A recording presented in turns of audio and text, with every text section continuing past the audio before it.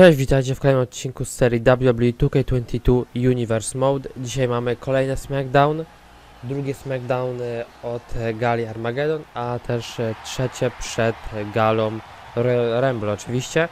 I dzisiaj zaczynamy od e, walki one on one, to jest opener dzisiejszy, ale ta walka one on one będzie na pewno ważna, bo i ta walka one on one i następna walka one on one to będą właśnie taki mini, mini turniej, można tak powiedzieć, o to kto, e, no może nie mini turniej, ale takie, taki właśnie, e, może coś takiego jak właśnie mini turniej, po prostu zwycięzca tej walki w openerze i zwycięzca następnej walki e, zmierzą się w main evencie następnego SmackDown i właśnie zwycięzca tego main eventu zmierzy się z Johnny Gargano o pas Intercontinental, więc e, jest taki może mały mini czteroosobowy turniej, możemy tak powiedzieć, e, rywal teraz Wesley'ego. Wesley głównie zdo- tutaj został właśnie e, dodany do tego mini turnieju przez to, że e, świetnie się pokazał na jednym SmackDown z Johnnym Gargano i zasłużył właśnie na tą potencjalną szansę z nim walki o pas, ale jego rywal to będzie ciężki rywal, bo może nawet e, patrząc na formę e, on może według, bym powiedział, według mnie on i Edge może są na najwyższej formie, jeśli chodzi o SmackDown. O tym właśnie jak ta forma wznosząca idzie cały czas w górę. No i właśnie Ricochet w barwach właśnie swojego nowego domu, można tak powiedzieć, bo oczywiście już teraz e, bardzo dobrze się zadomowił na SmackDown i dzisiaj właśnie będzie, e, już może być o krok właśnie od walki o pas Intercontinental, bo jeśli dzisiaj wygra, no to będzie potem musiał tylko czekać na swojego rywala i właśnie za tydzień na SmackDown zmierzy się w main evencie z tym rywalem o, o nie pas jeszcze, a właśnie szansę walki o pas Intercontinental Johnny Gargano. Taka potencjalna walka Wesley kontra Gargano, czy Ricochet kontra Gargano, to jest na pewno ciekawe, ciekawe, ciekawe właśnie byłoby starcie. Mocno zaczynają, tutaj zawodnicy, choć nikt nie trafił praktycznie, teraz Wesley w końcu on chyba zaczyna. Łapie tutaj Ricochet. I jeszcze będzie DDT, ależ to naprawdę wyglądało brutalnie bym powiedział, zdecydowanie. Właśnie tak jak głową lądujesz tutaj na tą właśnie krawędź e, ringu, no to musi wyglądać e, i na pewno, na pewno nie jest miłe w uczuciu. Knee drop teraz od Ricochet i Senton jeszcze świetnie robi. Fajnie byłoby w przyszłości kiedyś można było na przykład tutaj wejść na właśnie te barykady i na przykład tak często Jeff Hardy na przykład robił akcję z tych barykad, jak się tak właśnie rozpędzał i wpadał właśnie w rywala. To fajnie byłoby można było tam wyjść właśnie na przykład coś zrobić, coś tutaj zeskoczyć. Tak, to też myślę, że fajny mały dodatek.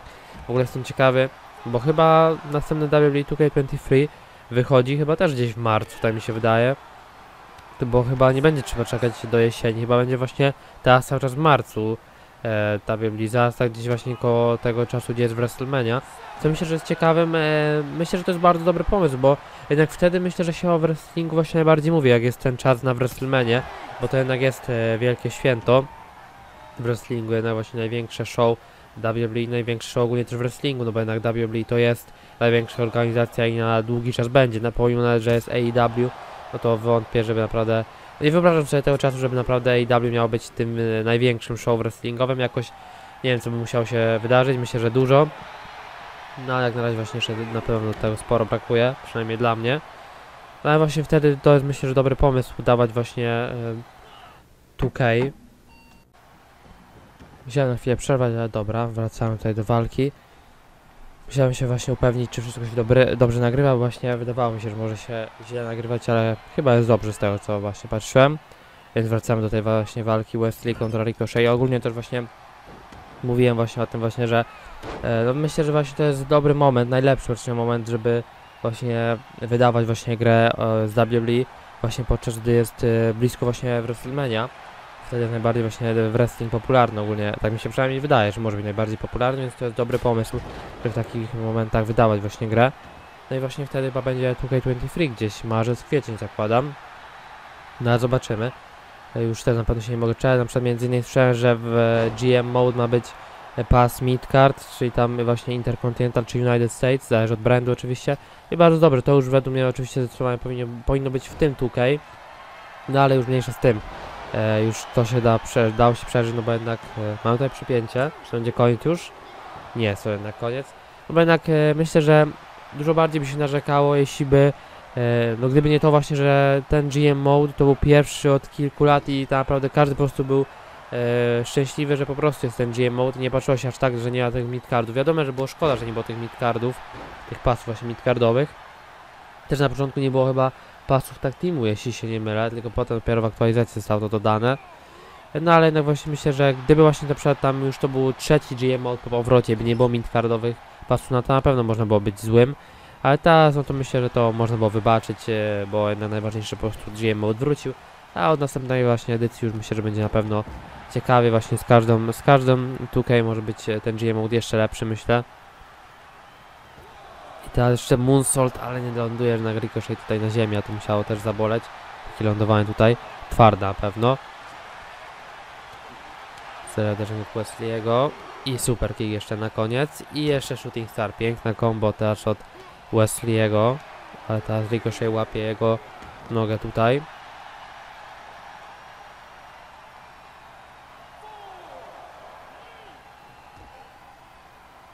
Jeszcze będzie back suplex. Back suplex od Ricochet. Pora przerwać liczenie też. Nie wiem, już nie widać, jakoś nie widzę. Przedtem widziałem, nie widzę liczenia. A teraz jest oczywiście znowu jeden właśnie. I teraz knee drop. I Ricochet przedtem nie dał rady skończyć e, walki 630, więc będzie próba skończenia oczywiście drugim finisherem. Ale nie będzie to drugiego finishera, bo kontruje Wesley, ale teraz świetna kontra i znowu kontra Spanish Fly. Piękna sekwencja teraz. Wesley ma finisher i signaturę. Próbował cokolwiek zrobić, coś z tego, chyba signaturę. Teraz znowu jest skontrowana sygnatura Ricochet. I świetny teraz jumping neck breaker. Wesley, co będzie próbował, będzie pewnie próba finishera zakładam. Aż teraz świetny, to jest e... Co był, Red Arrow? Wydaje, mi się, że to właśnie Neville kiedyś to robił, AJ Neville, który teraz się nazywa oczywiście w AEW. To wydawało mi się, że to był Red Arrow. Może to inaczej nazywa właśnie e, Wesley. Teraz świetny tutaj, e, świetny Powersem, tak, tego słowa szukałem, oczywiście Powersem. I pora na drugi raz dzisiaj na sygnaturę. Tym razem się już uda. To jest chyba Crossleg Summon Driver, jeśli dobrze pamiętam. I pora to chyba skończy w jedyny i najlepszy możliwy sposób, czyli 630. 630 trafia po raz drugi dzisiaj i chyba ten, tym razem już trafia na zwycięstwo też. Tak, to jest już na zwycięstwo. Ricochet wygrywa. Był myślę, że faworytem w tej walce i też e, skończył jako zwycięzca, więc e, no spełniło się to myślę, że myślę, że był faworytem właśnie patrząc na to jak ostatnio miał świetną formę i ta forma idzie dalej. Choć jeszcze ma oczywiście jedno wyzwanie, będzie musiał za tydzień w main evencie zmierzyć się jeszcze z jakimś zawodnikiem, którego za chwilę poznamy. No i wtedy ma szansę walki z Johnny Gargano. Zobaczmy teraz już e, w drugiej walce, kto będzie potencjalnym jego rywalem. I pora to już na drugą walkę i pora poznać właśnie z kim zmierzy się Ricochet w main evencie następnego SmackDown oczywiście. Będzie to też oczywiście walka one on one i po, pora na pierwszego właśnie zawodnika. Będzie to Matt Riddle. Matt Riddle, który w sumie ostatnio nie miał dużo praktycznie do roboty, więc teraz e, ma dużą okazję, ma dużą okazję, bo może powalczyć, nie wiem czy on walczył, nie przypomniałem sobie, żeby on walczył o pas Intercontinental, mo może się mylę. Wiem, że walczył za to o pas WWE Championship, World Heavyweight, e, WWE World Heavyweight Championship oczywiście, o pas e, walczył z Johnem Ceną na gali Hell in a Cell, więc to był na jego taki największy moment, można tak powiedzieć, w Universe Mode. Ale dzisiaj też może oczywiście mieć szansę na kolejny duży moment. Bo jednak nawet jeśli by dzisiaj wygrał, to jeszcze musi pokonać Ricochet, oczywiście za tydzień, a jego rywalem będzie, zobaczmy właśnie kto będzie jego rywalem. Można się myślę, że już domyślić, można wywnioskować co właśnie tam pisze, nie za dobrze widać, ale pisze tam Keith Lee oczywiście, bo Keith Lee będzie jego rywalem.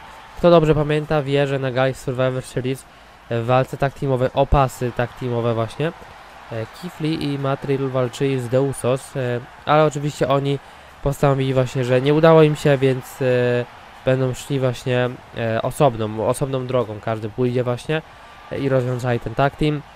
No ale to oczywiście nie znaczy, że są już wrogami, a dzisiaj po prostu będzie walka, żeby zobaczyć kto, można by tak powiedzieć, kto jest lepszy i kto da, da radę właśnie wygrać tą walkę, zawalczy z Ricochet na gali, nie na gali może, a na, no w sumie każda, każda praktycznie Raw czy SmackDown też jest taka jakby gala, może bardziej show. No ale zawalczy po prostu za tydzień właśnie w main evencie, więc zobaczymy. Ricochet na pewno obserwuje, żeby wiedzieć z kim się zmierzy. Ktokolwiek tu będzie, to będzie ciężkie wyzwanie, bo i Matt Riddle i Kifli to są e, cięższe na pewno rywale do pokonania. Kifli dobrze zaczyna, jeszcze tutaj będzie back suplex, no to podobnie się zaczyna ta walka jak poprzednia, też od takiej akcji tutaj na krawędzi, tylko że tutaj e, był back suplex, a w tamtej walce było DDT. Nie wiem, które bardziej brutalnie wygląda, bo i to i to na pewno boli. Kontruje teraz już Matt Riddle, więc Kifli nie trafia. I Irish Whip i trafia tutaj w ring post. Matt Riddle prosto twarzą właśnie. Kifli już jest na środku ringu. Riddle wraca. Nie trafia. Dobrze tutaj zrobił unik Kifli i belly to belly suplex.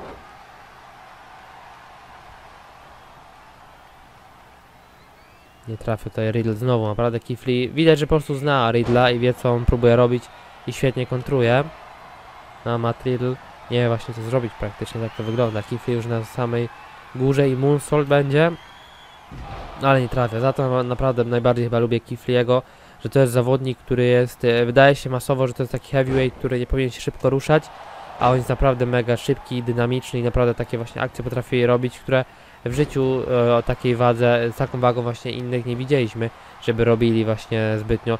Między innymi Bam Bam Bigelow chyba robił kiedyś właśnie na przykład e, jego finisher był podobny trochę do Moonsaulta. Ale jednak Kifli cokolwiek robił to jest wszystko lepsze od e, innych właśnie co przedtem robili.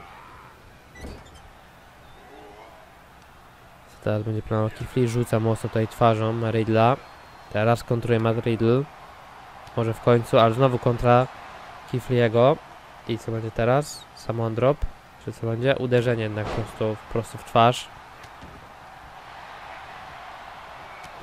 Aż teraz taki troszkę jakby Superman punch bym powiedział. I Senton jeszcze dodaje Riddle. Senton Riddle mi się najbardziej chyba będzie kojarzył z tym jak e, w Extreme Rules, e, nie pamiętam, Fight Pit, czy to tak się chyba nazywało, to walka jego z Sefem Rollinsem, tej takiej specyficznej bym powiedział klatce, takiej innej. Ten Senton jego z samej góry, to będę najbardziej pamiętał. I spodziewałem się szczerze, że zrobi tego Sentona. Myślałem też, że jakiś, e, może nie wiem, zrobi splash jakiś, ale Sentona się nie spodziewałem. Bo to naprawdę i tak fajnie, fajnie to naprawdę wyglądało. I też ten Senton e, nie wygrał tej walki, ale był bliski. Oczywiście wygrał, a potem chyba e, trójkątem, dźwignią oczywiście, submissionem poddał e, Stefa Rollinsa. Też fajna akcja, fajna walka i szczerze się spodziewałem, że tam e, Sef wygra, ale nie wygrał. Ostatecznie się to Riddle wygrał. I teraz jeszcze tutaj troszkę nie wiem, w sumie nawet e, to jest takie ani to nie jest e, przyduszające, można tak powiedzieć, ani żadne takie, no nie, nie wiem jak to w sumie nazwać, ten ruch bardziej. Teraz kolejny za to Senton i już teraz Riddle wygląda znacznie lepiej w tej walce, jeszcze kopnięcie. Tutaj kolejne. A już tutaj się wymieniali, ale jakby trafił Matt Riddle. I jeszcze teraz plecy, prosto w plecy trafia właśnie. I pora na sygnaturę. Kopnięcie prosto w głowę i będzie próba submissionu i jest submission, tylko nie ma jednak tutaj ciężko jest naprawdę wyjść z tego submissionu. Batista dobrze o tym wie, jak właśnie była jakaś walka number one contender z Batistą, jak Riddle walczył. O to właśnie, kto zmierzy się z Siną.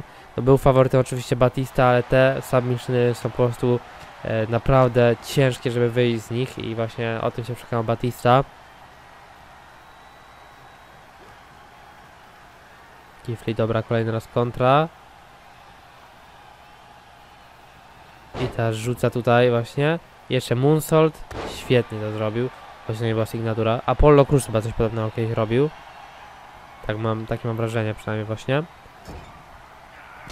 Kontra Riddla. I to jest teraz świetny moment na to, żeby właśnie Bro Deck zrobić. I to jest bardzo prawdopodobne, że to może być koniec tej walki.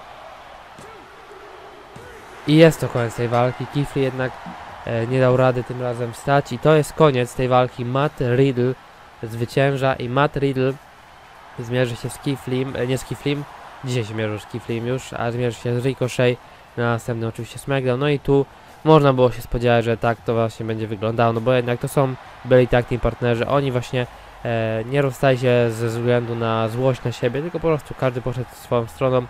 Obecnie Riddle, e, można tak powiedzieć, ma szansę, żeby, e, nie mogę powiedzieć, że zrobić większą karierę, bo obydwoje już zrobili dużą karierę, ale teraz ma po prostu lepsze czasy Matt Riddle, bo on zmierzy się z Ricochet za tydzień właśnie w main evencie i zwycięzca tego naprawdę ciekawego bardzo i trudnego starcia, bo trudno mi ocenić kto wygra, ale y, zwycięzca właśnie tego starcia zmierzy się z Johnnym Gargano na Royal Rumble o pas Intercontinental, a przed nami teraz już main event dzisiejszego SmackDown. I przed nami już teraz main event dzisiejszego SmackDown. I myślę, że będzie to na pewno na swój sposób ciekawe, ciekawy właśnie main event, ciekawe starcie będzie. I jak widać e, pierwsza osoba, w sumie może nawet e, nie tylko osoba, bo dwie osoby pierwsze, które będziemy widzieli to oczywiście rodzina Misterio, Dominik i Rey Mysterio oczywiście, ojciec i syn, którzy tutaj współpracują razem, a z tego słyszałem w rzeczywistości e, podobno na WrestleMania ma być właśnie walka Dominik Mysterio kontra Rey Mysterio, jestem ciekawy, byłoby to na pewno świetne starcie i dobry pomysł na pewno. I myślę, że szczerze, szczerze wtedy wygrał Rey, no bo jednak myślę, że myślę, że po prostu ten Dominik już by wtedy to byłby dobry pomysł. Według mnie właśnie byłby to dobry pomysł, no chyba, że Rey planuje przedkończyć karierę, to wtedy to byłoby dobre że dla Dominika, że wygrał oczywiście, ale wątpię, żeby Rey obecnie planował kończyć karierę. No ale dzisiaj to nie jest walka tak teamowa i nie walczy Rey, a walczy Dominik Mysterio w dzisiejszym main evencie. Też e, myślę, że może być na pewno ciekawe, bo myślę, że właśnie można było się spodziewać, że to będzie Rey walczył, albo będzie to tag team match i pora teraz poznać jego rywala. A jego rywalem nie będzie Christian, a będzie właśnie ten zawodnik, e, oczywiście ten mistrz koło niego, mistrz World Heavyweight, czy oczywiście Edge, więc zobaczymy taką e, walkę właśnie Edge kontra Dominik Mysterio i co ciekawe, za tydzień na następnym SmackDown w Openerze SmackDown następnego zobaczymy walkę Christian kontra Rey Mysterio, więc też będziemy e, właśnie mogli zobaczyć na odwrót, jak będzie właśnie jak to pretendent zmierzy się e, właśnie tutaj z e, takim partnerem mistrza, bo dzisiaj właśnie zobaczymy walkę mistrz kontra e, syn oczywiście przyszłego pretendenta do pasa właśnie, więc też na pewno dwie ciekawe, dwa ciekawe starcia będą. Dominik Mysterio kontra Edge. Zdecydowanym faworytem myślę, że jest Edge. Obecny mistrz, tak jak mówiłem już to e, na właśnie w Openerze Ricochet jak walczy, że właśnie według mnie Ricochet i Edge to są dwóch zawodników, którzy są na największej, można tak powiedzieć, fali e, właśnie obecnie w e, SmackDown, będzie SmackDown, na brandzie SmackDown dokładnie. No zobaczymy, czy Dominik, e, Dominik Mysterio, jeśli Dominik pokona e, Edge'a, a Rey by na przykład nie dał rady, no to myślę, że byłoby, mogło być ciekawe, bo myślę, żeby Dominik wtedy zasłużył na tą walkę potencjalnie, o pas oczywiście. No ale zobaczymy, czy Edge na pewno nie będzie chciał sobie zrobić takiego utrudnienia, że właśnie przegrałby tutaj e, na kilka tygodni przed właśnie tą ważną walką. I teraz świetne DDT od Dominika Mysterio. Teraz mistrz już kontruje właśnie uderzeniem prosto w brzuch. Jednak trzeba pamiętać, że tutaj nie ma żadnej też e, wielkiej rywalizacji, to jednak są, jest starcie właśnie Dominik i Ray, to jest jak rodzina praktycznie dla Edge'a, oczywiście jeszcze to jest Christian, który jest jego najlepszym przyjacielem, więc to jest naprawdę e, taka rywalizacja, nie ze złości, tylko oczywiście po prostu musiało się wydarzyć prędzej czy później, że Ray wykorzysta walizkę. Wiedział, że czas już się kończy, nie chciał właśnie za długo czekać i postanowił właśnie, postanowił e, właśnie, że będzie chciał już teraz to zrealizować. Niedawno właśnie miał walkę tak teamową z Dominikiem Mysterio kontra Usos właśnie na gali Armageddon. Nie udało im się jednak wygrać pasów tak teamowych. Może by wtedy inaczej o tym myślał. No chyba, żeby chciał być podwójnym mistrzem. E, chyba, że właśnie tak, no bo jeśli nie tak, no to pewnie, jeśli by nie myślał o podwójnym mistrzostwie, to by skupił się na, pas, na pasach tak i może dopiero później by myślał o tej właśnie zrealizowaniu waliszki, walizki. Odbija się teraz od liny Dominik Mysterio, ale trafia prosto w Edge'a. I teraz Hurricane Rana i tam trafia. Naprawdę nie najlepiej to wyglądało. Trafił właśnie, zawiesił się na tej linie właśnie Edge głową. To już wydawało się, że może być próba do 619, ale jednak jeszcze nie. Nie trafia tutaj teraz e, Dominik Mysterio. Edge teraz uderzenie prosto w plecy. I teraz uderzenie tutaj w żebra. Już Edge jest gotowy z, Edge, z Execution, tak. I teraz Execution. Execution trafia. I to jest e, próba przypięcia, ale to nie jest koniec jednak walki. Edge nie wygrywa. Choć jednak jakby tak szybko pokonał Dominika, to myślę, że byłoby to, byłoby to takie właśnie wysłanie wiadomości do Raya, że e, właśnie, że on jest gotowy. On jest e, gotowy i właśnie już e, e, właśnie jego syna pobił z łatwością, więc y, jego też da radę. Tutaj świetnie właśnie wychodzi z tego Edge i to był zły pomysł dla Dominika. Spear trafia i to może być koniec. Ale to nie jest jednak koniec. Dominik walczy dzielnie. Dzielnie walczy Dominik Ray. Nie wygląda, ale myślę, że może być dumny e, właśnie z Dominika, że walczy i próbuje co może, choć właśnie wyzwanie jest mega ciężkie. Close jeszcze teraz e, prosto w plecy. W sumie bardziej może nawet w tył głowy bardziej trafił tam Edge. Tutaj jeszcze uderzenie prosto w nogę. Seria tutaj kopnięć. Dominik Mysterio jednak świetnie tutaj wyczuł kiedy się rzucić. I będzie próba 619 teraz. Ale nie będzie 619. Edge już e, zna ten ruch bardzo, bardzo dobrze, oczywiście po wszystkich starciach z e, nie z Dominikiem, a z Reyem Mysterio. Wiedział co zrobić i świetnie to właśnie skontrował. Irish Ship, teraz jest e, tutaj Dominik na różniku, seria kopnięć. I jeszcze jedno kopnięcie, przyciskasz tutaj właśnie twarz i kolejne kopnięcia. Jeszcze chyba środkowy palec, jeśli się nie mylę, to najbardziej mi się kojarzy z, z Stone Coldem. Ale widzę, że Edge też tak robi, nie wiedziałem nawet szczerze. Będzie próba po raz kolejny execution, ale nie trafia, bo Dominik Mysterio kontruje, ale kolejna kontra. I będzie po raz kolejny uderzenie w plecy. Dominik Mysterio na pewno walczy dobrze. Myślę, że się mniej szczerze po nim spodziewałem. Myślałem, że nie będzie to, nie będzie aż takiego oporu, ale jednak naprawdę bardzo fajnie walczy i dzisiaj robi co może, no robi co może praktycznie. I dropkick nie trafia. Odbicie od Lin. I jeszcze Hurricane Rana. Tak właśnie bardzo nisko tutaj wszystko było.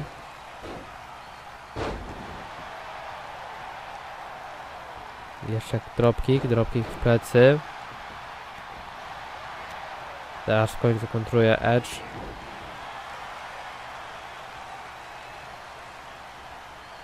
I super kick nie trafia. Kontra. Odbicie teraz od Lin Dominika Misterio. I teraz Spear nie trafia, kontruje Dominik Misterio. No niesamowite, naprawdę Dominik e, imponuje mi, jak właśnie ciężko jest e, Edge'owi poradzić z nim, właśnie jak, jak ciężko sobie może poradzić z nim. Właśnie Edge nie może wygrać z Dominikiem jakoś na razie. Edge teraz e, no właśnie na pewno gorzej wygląda w tym starciu i Dominik Misterio będzie próbował. Dominik Misterio z samej góry, Frog Splash jednak nie trafia. To by mogło, mogło być e, zakończenie tej walki. To mogło być świetne zakończenie tej walki, ale jednak nie tak prosto. Kontra, próba flapjacka tutaj właśnie, ale kontruje Dominik. Trafia tutaj po raz kolejny Edge. I teraz elbow drop też trafia. Teraz coś w stylu bardziej swojego rywala, czy właśnie akcja z samej góry, ale nie trafia tym elbow dropem. Odbicie od linii kolejny będzie próba tej Hurricane Rany właśnie. I trafi kolejny tą Hurricane Ranę. Właśnie tutaj Dominik Mysterio. Nie będzie próby sygnatury jednak. Będzie za to neckbreaker. I teraz będzie próbował trafić właśnie Dominik Mysterio. Ale nie trafia po raz kolejny. Nie może jakoś trafić. A teraz za to trafia Edge i to była świetna sekwencja, chyba na koniec tej walki już. I tak, to jest koniec walki. Świetna naprawdę postawa Dominika, zdecydowanie zrobił więcej niż ja się spodziewałem i myślę Edge też nie spodziewał, że będzie to aż taka ciężka walka. No ale jednak trzeba sobie pomyśleć, że jak to była tak dobra walka, no to walka z Reyem na Rumble musi być lepsza, no bo jednak Rey jest lepszym zawodnikiem od Dominika, więc o będzie na pewno ciekawie, będzie ciekawie, a Reya oczywiście zobaczymy w akcji właśnie za tydzień z Kryszczynem w Openerze na SmackDown, więc też następny SmackDown zapowiada się naprawdę ciekawie. Dwie walki oczywiście znamy. W main evencie Ricochet kontra Riddle, a w Openerze Christian kontra Rey Mysterio i na pewno jeszcze jakaś w mid, w mid e, właśnie walka będzie ciekawa. Na dzisiaj było ty, ty, e, tyle. Już właśnie troszkę mi się język plącze, naprawdę nie ukrywam, że ja troszkę by- byłem podekscytowany tą walką, naprawdę była bardzo fajna, była bardzo fajna i zdecydowanie była lepsza niż się spodziewałem. Bałem się, że to nie będzie ciężkie wyzwanie Edge jakoś w 4 minuty 5 może skończy właśnie tą walkę, ale naprawdę walka była super i możemy kończyć ten właśnie odcinek. Dzięki Wam za oglądanie, do zobaczenia w kolejnych odcinkach. Cześć!